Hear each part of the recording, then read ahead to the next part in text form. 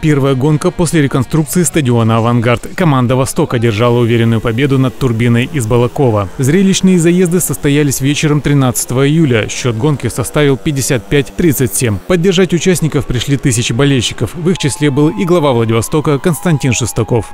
Пять с половиной тысяч человек в одном порыве болела за нашу команду, и это, очевидно, один из самых любимых видов спорта для нашего города.